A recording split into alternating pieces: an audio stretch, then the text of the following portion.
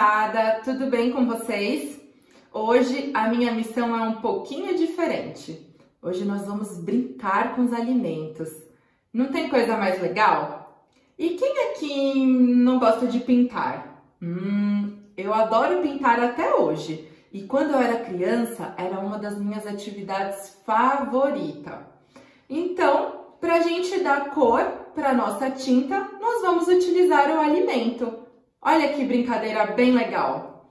Então vamos lá. Para a nossa atividade de hoje, vamos precisar um tubo de cola branca,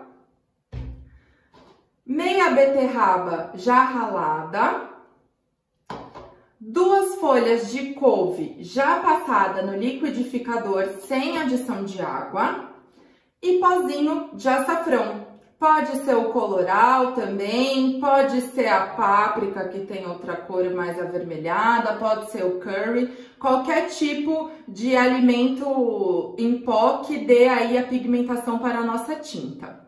E com isso, nós vamos fazer hoje tinta vermelha da beterraba, verde da couve e amarela do açafrão. Vamos nessa? Então vamos iniciar a nossa tinta meio vermelha, meio rosa, com a nossa beterraba. Então, ralou a beterraba, vai pegar um coador, porque a ideia é a gente extrair o suco dessa beterraba, o líquido que tem lá. Então, aqui com a mãozinha mesmo, vai colocar um pouco dessa beterraba na peneira. E a ideia aqui é a gente apertar bastante essa beterraba para sair o suco. Vocês estão conseguindo ver? Ó, Quanto mais eu espremer, mais vai sair o suco, tá?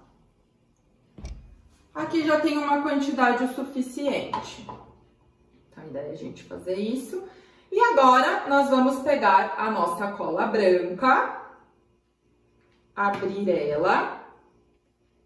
E aqui, ó, nosso potinho, que a gente vai colocar tinta, vou colocar um pouco de cola e vamos colocar a beterraba, o líquido. Pessoal, a ideia é colocar apenas um pouquinho, ó.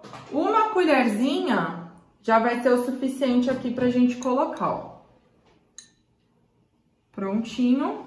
E misturar. Vamos ver nossa tinta pegando cor. Ó que legal. Tá vendo que ela fica num tom bem rosa um vermelho clarinho, vinho. E prontinho. Já temos nossa primeira tinta formada. Vamos ver como ficou essa tinta. Nossa folhinha. Vamos pegar aqui um papel. E ó que legal. Dá pra gente desenhar aqui. Com o dedo mesmo, com o pincel, o que vocês acharem melhor ok? Então, primeira tinta concluída com sucesso. Agora, segundo passo, nossa tinta verde. Então, como eu falei para vocês, duas folhinhas de couve, processa no liquidificador sem adição de água. Nós vamos fazer o mesmo procedimento que fizemos com a beterraba. Vamos pegar essa folha, um coador e colocar aqui e vamos apertar bem até sair o suco. Quanto mais a gente apertar, mais vai sair esse suquinho verde, que é o que vai dar cor aí pra nossa tinta. Pronto, feito isso. Deixa eu limpar aqui minha mão. Feito isso, vamos pegar nossa cola, nosso potinho, adicionar a cola branca e vamos adicionar nosso tomzinho verde. E misturar. Olha que legal, pessoal. Ela vai ficar um verdinho um pouco mais claro, tá? Não fica um verde escurão, tipo um verde bandeira. Fica um verdinho bem clarinho, né? E mais uma vez, vamos testar na nossa folha. Aqui. Ó. A gente pode pintar com o dedo e se divertir.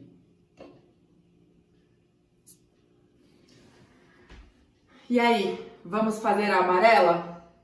Agora, vamos finalizar a nossa terceira e última tinta. Super fácil essa daqui. Vamos adicionar a cola no nosso potinho, certo?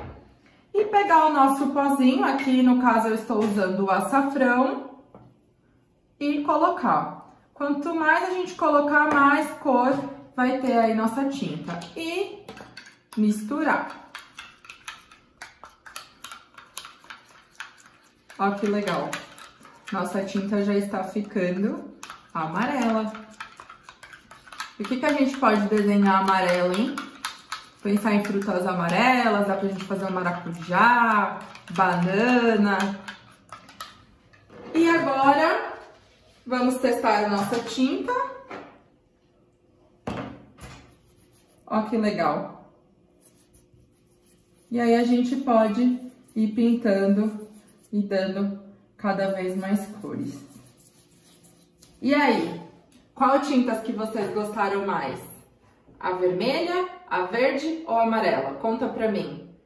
Pessoal, espero que vocês tenham gostado da nossa aulinha de hoje, da nossa dica algumas informações que são importantes. Como é uma atividade que pode fazer um pouquinho mais de sujeira, então sempre conversar com a mamãe, com o papai antes, tá? Forrar com jornal ou com algum plástico, fazer em algum lugar que realmente possa sujar, né? A cozinha, o quintal, a sacada, aonde vocês acharem melhor.